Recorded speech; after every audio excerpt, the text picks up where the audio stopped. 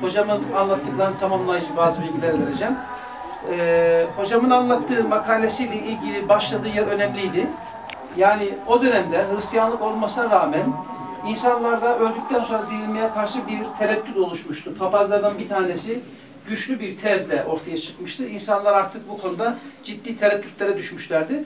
Allahu Teala Celle Celaluhu Ashab-ı Kehf'i 309 sene ya 300 ya 309 sene efendim burada yaşatıp tekrar dirilttikten sonra yani buradaki halk buradaki halk e, Allahu Teala'nın dünyada da insanları öldürdükten sonra dirilttiğine adeta hep birlikte şahit oldular. Böylece papazın tezi çürümüş oldu. Elhamdülillah. Hocamın galiba makalesinde bu kısımda vardır. E, konuşma esnasında unutulmuş olabilir. Şimdi bir diğer husus e, yani Afşin'de mi, Tarsus'ta mı, Efes'te mi, yoksa Şam'da mı? Şam'da da var. Ben orada okuduğum sırada efendim oradaki Ashab-ı Kehf mağarasını ziyaret ettim. Hiç korkulacak bir tarafı yoktu. Çok güzeldi. Ama burası gerçekten Şam'ın e, Şam'ın Cebel Kasyon'da Makam Erbain. e, Cebel Kasyon'daydı. Orada bir şey vardı. Mebit vardı. Öğrenci yurdu onun içerisinde.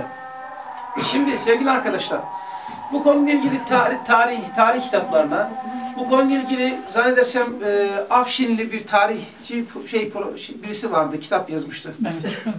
Yok. Ee, o şahsın kitaplarını da filan okudum. Ben şöyle kısaca izah edeyim.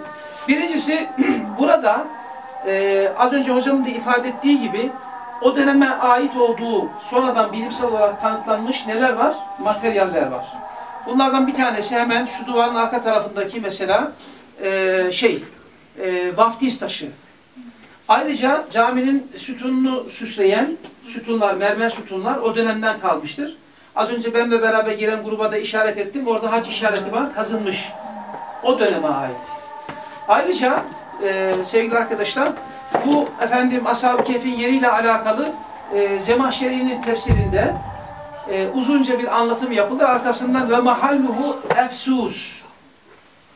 Bunun da yeri efsustur der. Arkasından da yani tarsus der. Yani e, Efsus o gün Zemahşeri'nin efendim yaşadığı dönemde e, kitaplarda Efsus diye bir yer bulunmadığını, Efes değil, Efsus diye bir yer bulunmadığından galiba ismi değişmiş olabilir. Tarsus biraz daha yakın gelir ona. O yüzden Tarsus der. Halbuki buranın asıl adı Efesus'tur. Afşin'in asıl adı Romalılar döneminde Efesus'tur. E, daha sonra Efsus olarak bilinmiştir. Burada